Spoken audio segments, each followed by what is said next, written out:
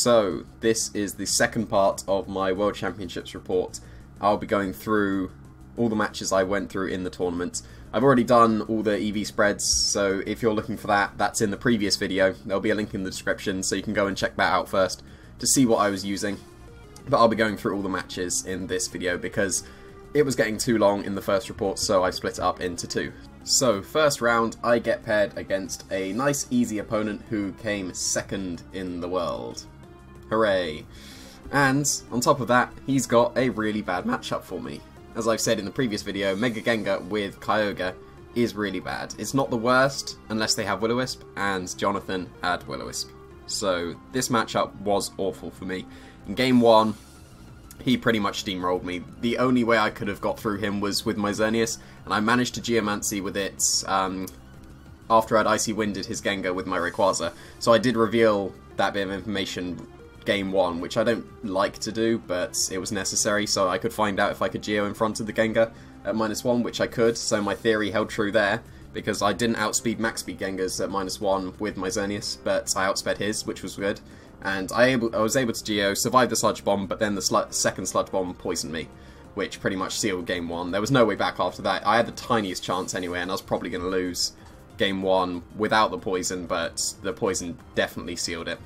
So I just basically played for a little bit more information, and I'm all that I found was his Bronzong was Lum Berry, which doesn't really affect me at all. But then in game two, I got uh, into a position where I Geo with my Xerneas again, and it was on pretty much no HP. But he had brought he just brought in his Talonflame, and I had to predict him not to attack my Xerneas because I had a Gyarados next to me, and I could have just waterfalled the Talonflame and protected my Xerneas. So I had to predict him to attack my Gyarados instead of attacking my Xerneas, predicting the protect. I got that right, and I managed to do a huge chunk to both his Pokemon, and I was able to clean up from there. And then game three, he led his Gengar Bronzong, which was what he led in game one, and I managed to predict that with Rayquaza Arcanine. So because of the airlock, if I just didn't Mega Evolve my Rayquaza, I could freely Flare Blitz the Bronzong slot. He could have switched into Kyogre. That would have still taken damage. The rain wouldn't have prevented my Flare Blitz though because of the airlock. He stayed in with his Bronzong, and because my Arcanine KOs all non-heat-proof Bronzongs and he was Levitate, the Bronzong got KO'd. He would have my Rayquaza, but I Icy Winded, so his Gengar was slower than my Arcanine, and I could just Flare Blitz the uh, Gengar again. And then that was two knockouts in two turns, and then I was just pretty much able to clean up from there. So I actually managed to take this really bad matchup in the first round, and I managed to beat the person who came second, so therefore I was second. That's not how it works. I wish that was how it works, but round two, against Ricardo Apamia. I'm so sorry if that's pronounced wrong. I'm going to apologise right now if I pronounce any of the names wrong, because I'm not used to the foreign names and I'm probably going to get all of them wrong. But he's just um, created a Twitter, so go and follow him. He's the only ever person to win a regional with Rayquaza Mewtwo. That's really cool. Go and follow him. He was using my worst possible matchup that I had theoried before the tournament. So already two horrible matchups for me. Mawile Kyogre is really, really bad. But luckily I had had some practice with it before, so I did have a little bit of an idea what to do. But he also had Crobat. So that kind of ruined my tactics, because my tactics was to let the Mawile Ironhead my Xerneas as I Geomancy up, and then I can just intimidate the Mawile so I live, and then I can knock it out. But because he has Crobat, I can't use my Xerneas. So I can't remember what I led in game one, but I didn't lead my Xerneas, which was my usual tactic. And I did actually get into a position where I could Geomancy with my Xerneas. I can't remember if he brought Crobat or not, but he definitely led Mawile and I did manage to get into a position where I was geomancied up with my Arcanine, and then I could Helping Hand Moonblast the Moa. I had got a little bit of chip on it as well, so I could Helping Hand Moonblast it as the Kyogre switched in, which was really, really nice. So I took game one, and then game two I also had Geomancied with my Xerneas. I led with it this time, because I didn't expect him to lead with his anti-Xerneas stuff because I didn't lead with it, and he ended up leading with Zapdos Kyogre and I led with my Scrafty Xerneas, and I faked out the Zapdos in case it was roaring, and it did end up moving last as it flinched, so I'm pretty sure it was roaring. So next turn I Moonblasted it instead of Dazzling Gleamed to make sure that I knocked out the Zapdos. I did take two fully powered Water Spouts at, while I was Geoed though, so I did take a lot of damage, and I think it put me down into the red. But it was worth it so I didn't get roared. I did a nice chunk to the Kyogre with low kick, and then it got into a position in the end where he had a full health, yeah, full HP Rayquaza, which I didn't know whether it had the Sash or not, but it didn't have Life Orb, and his full HP Mawile against my Arcanine and my no HP Xerneas. So I had to predict him again, like I did in the match against Jonathan. I had to predict him to predict my Xerneas Protect and knock out my Arcanine because I could have protected and Flare Blitz the Mawile and then it was a 2 on 1. So I attacked through that potential Extreme Speed or Sucker Punch and I Extreme Speeded the Rayquaza to break any potential sash. He ended up Sucker Punching my Arcanine which failed and then I Dazzling Gleamed to knock out the Ray and do a huge chunk to the Mawile and then I could just clean up from there. So that's the second terrible matchup that I actually managed to win, which is awesome. So, next one, against Krellcroc. I'm not going to try and pronounce his name because I'll get it wrong, but I didn't know his name until someone told me he was Krellcroc after the match, so I, I definitely recognise the name Krellcroc. Been successful around Nugget Bridge.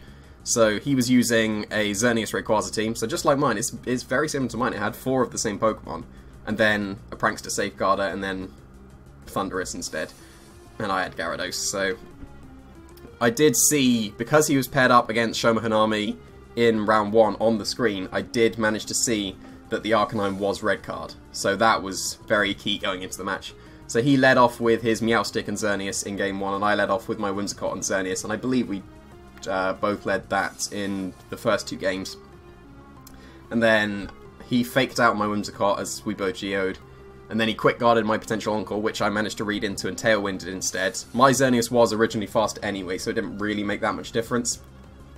But then I was just moonblasting his Xerneas as his Meowstic switched out into his Arcanine on the potential red cards. I managed to switch in my Arcanine and extreme speed his Arcanine so that it activated the red card first so I could Dazzling Gleam and then clean up the match and that was my phone because I'm very professional.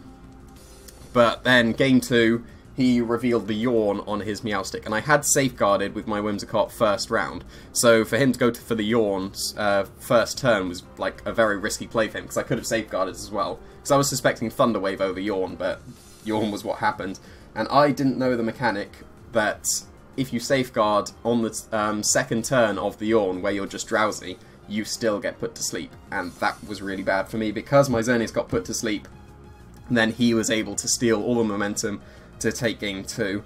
And then in game three, I don't think I led my Whimsicott. I can't remember what I led. Maybe my Scrafty. Actually, no, it was my Arcanine um, potentially roaring as Xerneas, wasn't it? I think so. And then, yeah, it, it basically, we had both geoed. I think I had roared him out.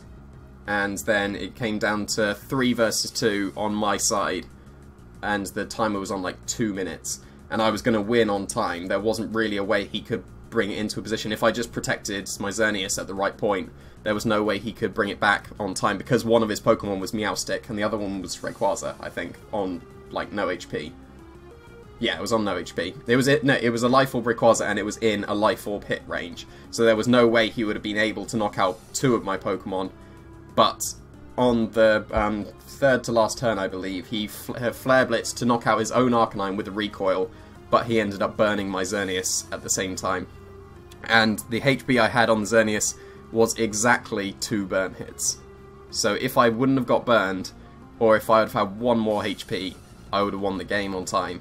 But because he burned me, my Xerneas got knocked out, my Rayquaza was in extreme speed range from his Rayquaza, and because I uh, haven't got much speed on mine, he was definitely going to outspeed me. He extreme speeded my Rayquaza, knocked both of the Rayquazas out because of his Life Orb recoil, and my Arcanine was asleep from a previous yawn, and it ended up being Meowstic against Arcanine, and the timer went out, he had more HP, and he won. Which was really unfortunate. I would have definitely taken the game without the burn, so that was a real shame. But it was a really, really good match. So I can't really complain that much. Like, I, I played sillily with the not knowing the safeguards would not stop the, the yawn on the second turn. So if, if I'd have known that, I could have played a lot differently. But there we go. So 2-1. Can only afford one more loss now in the tournament. And then next round, so I just played Krellcroc, who was second at the Korea Nationals. And then next round, I ended up playing the Korea National Champion, which is quite amusing. He was using Big B, so a match ball I was comfortable with. But in game one, he had got Trick Room up with his Bronzong, and I just sent in my Scrafty, so I had the fake out potential. But then I let the timer go too far down when I was deciding my moves, and I ended up rushing my fake out target and clicked on the wrong one, which lost me all the momentum because then he just got up gravity and swept with P-Blades, basically. So game one went horribly for me, when it could have gone alright, because I'd have still probably had the momentum if I'd have faked out the correct target, but that was just a silly mistake on my part. But game two, I was able to test out another one of my theories. Because he had knocked out all my Pokemon, he didn't see the Whimsicott, so he would have seen no way for me to stop his Smeargle. So my theory was that if the opponent doesn't see the a way to stop the Smeargle, they'll use it in game two. And he led Smeargle Xerneas. I led Whimsicott Xerneas, and he Dark Voided on my Guard, which was lovely, because then I just swept through with my Xerneas.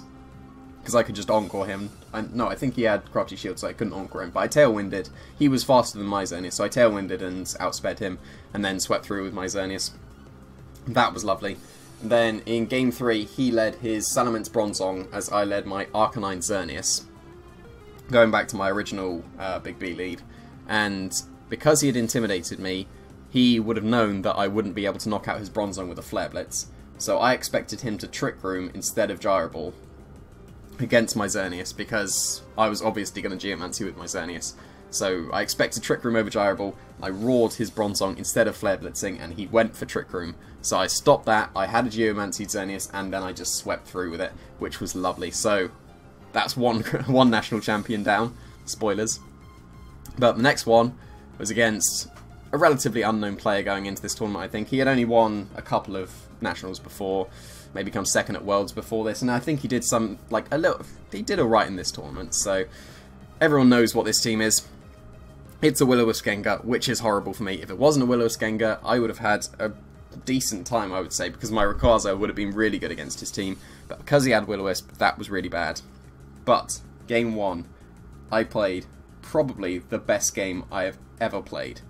I called every single one of his protects. I made the perfect play pretty much every single time. It's such a shame that this set wasn't on stream. If there was a chance for me to be on stream, it was surely when I was against Wolfie but we weren't put on stream. Wolfie was actually put on stream the next match, which was unfortunate, so I missed out on stream then.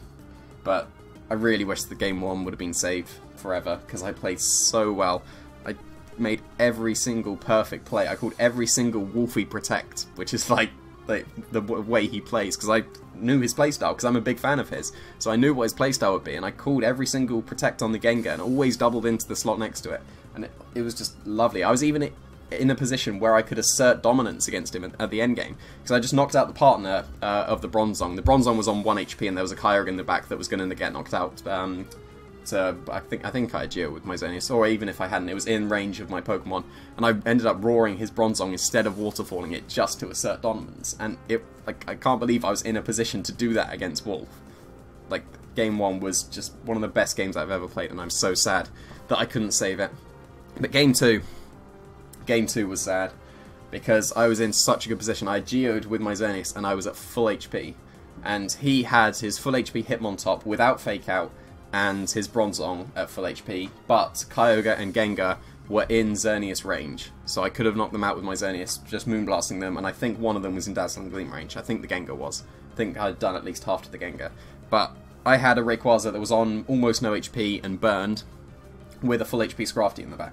So I switched out my Rayquaza into the Scrafty, because I considered the close combat onto the Rayquaza slot, because that was probably the one that made the most sense, because it would have put me in range of burn anyway. But I needed the Scrafty out, because then I could just stop the Bronzong from KOing my Xerneas or getting up Trick Room.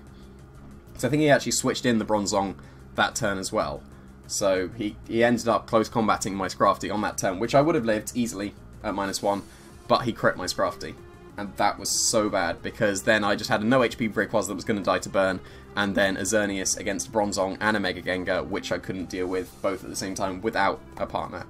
So that was really unfortunate. If the Scrafty would have lived, I had Fake Out potential, I could have stopped the Bronzong from doing anything, I could have knocked out the Hitmontop with either a Dazzling Gleam or Moonblast. If he had a wide guarded, then, I don't know, Moonblast would probably be in the better play, because I'd have definitely knocked out the Hitmontop, the Gengar and the Kyogre in the back were in Moonblast range, so I could have Moonblasted them or predicted the Protect and knock off and Moonblasted the Bronzong. So all I had to do in the end was call one more Protect, and I had called pretty much every single Protect up until that point.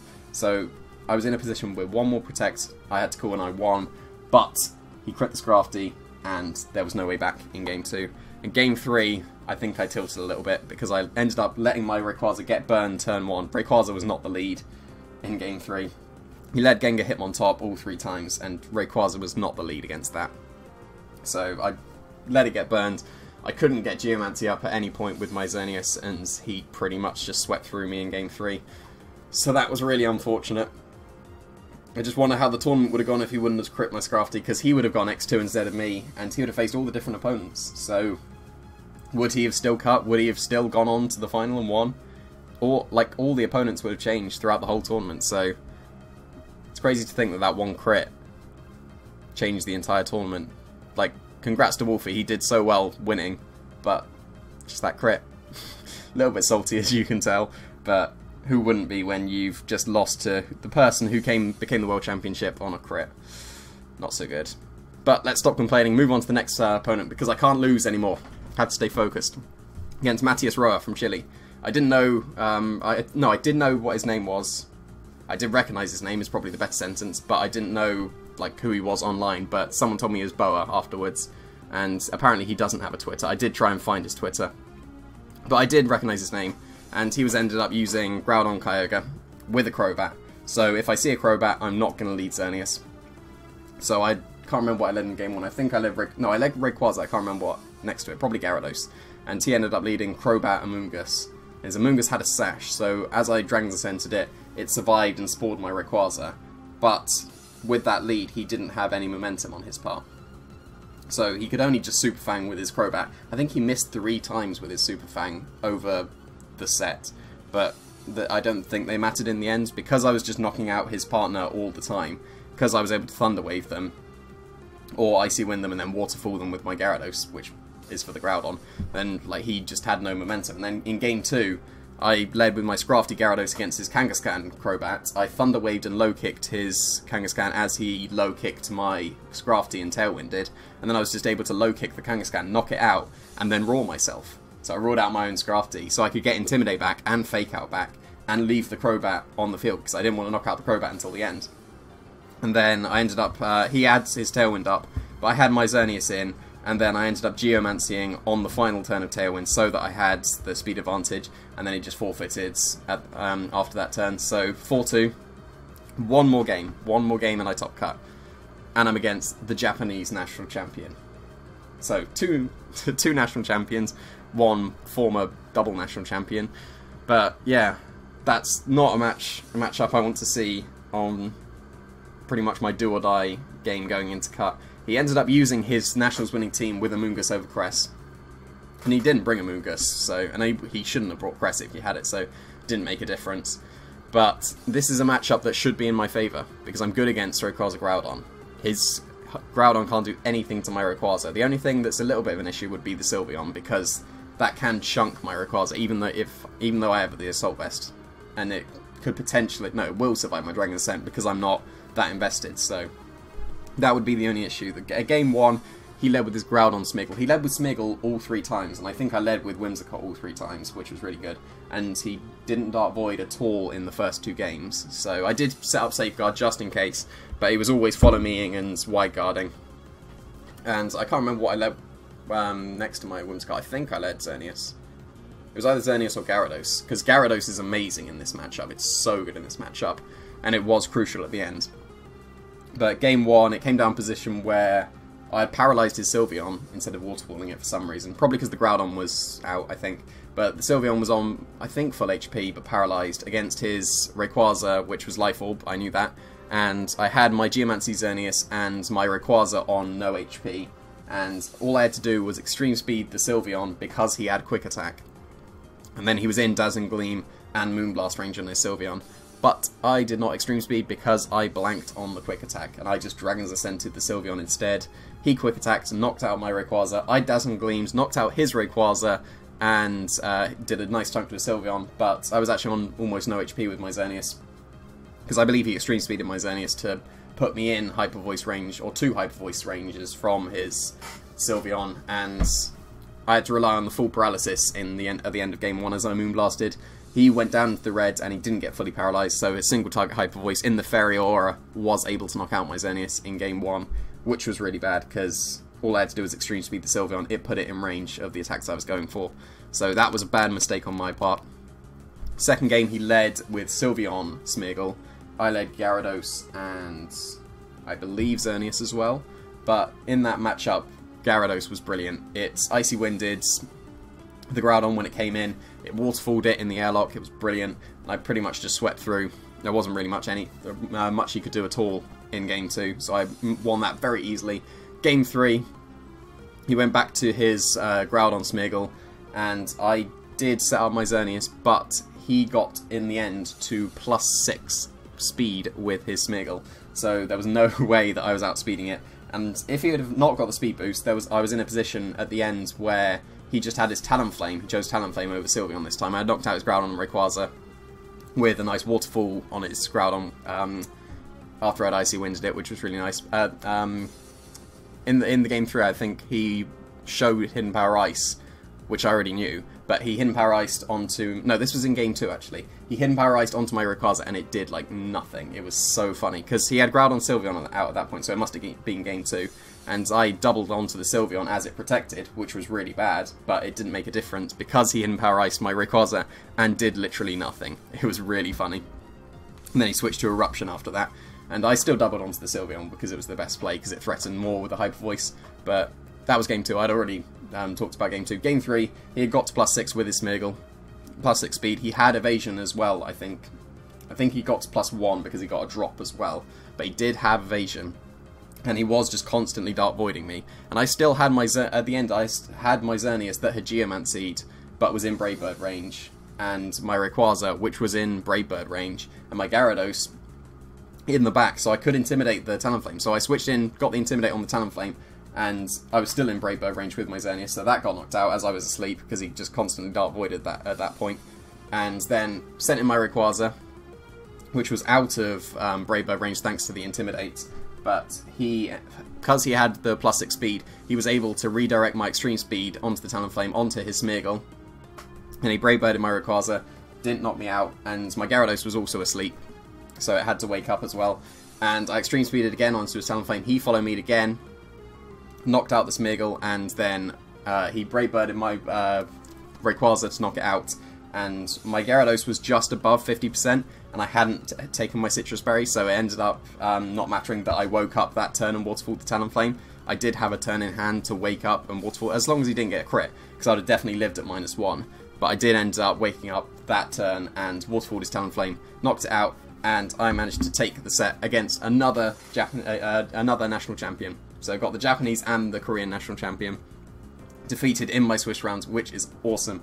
And I managed to top cut, and that was awesome, so good. And I'm one match away from prizes because my aim was the top 16, so I can get my capture card. So it ended up being 24 people that cut. That's why it's a top 24. I had played against Christian before in uh, the Bochum Regionals last year, in the final round, and I ended up getting to plus four with my Thundurus nasty plotting because I was able to encore his Charizard, and that was brilliant. Like, that's a different match, though. He was running Big Six with, well, Big R, I guess, because it's got Raichu.